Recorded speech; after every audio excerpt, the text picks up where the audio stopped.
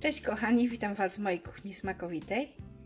Dzisiaj pokażę Wam przepis na pyszną szwedzką sałatkę śledziową z buraczkami. Sałatkę, którą przygotowuję często na Wigilię, która jednak nadaje się świetnie również na innego rodzaju okazje i imprezy.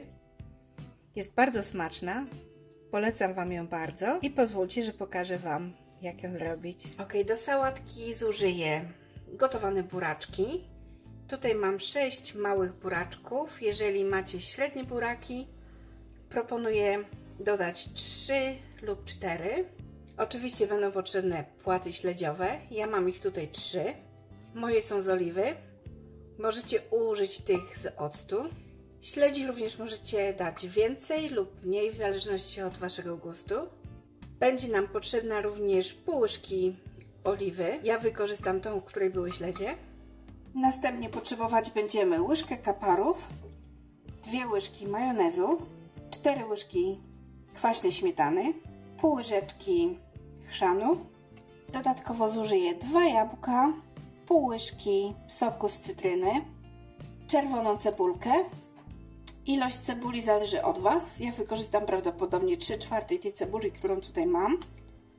Z przypraw dodam tylko trochę pieprzu Sałatkę rozpocznę od obrania i pokrojenia w kostkę cebuli i jabłek oraz pokroję w kostkę również buraczki.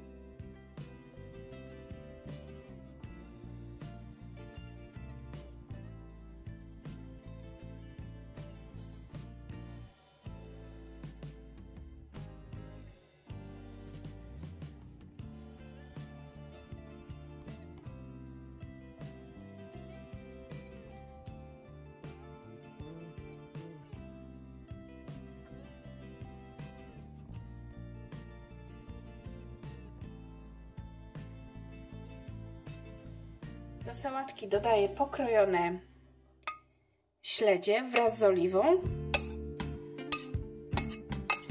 Do sałatki również dodaję kapary. W misce wymieszam majonez, śmietanę, chrzan.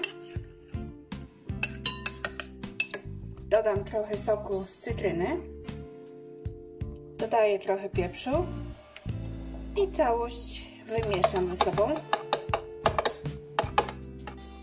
Całość polewam przygotowanym sosem i dobrze ze sobą wymieszam.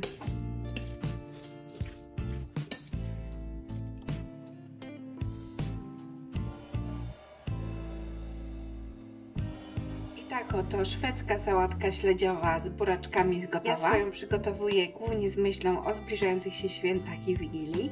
Zajmuje ona jednak zaszczytne miejsce na stole, również podczas innych okazji, rodzinnych uroczystości czy imprez. Sałatka najlepiej smakuje schłodzona. Powinna odstać przynajmniej 3 godziny w lodówce.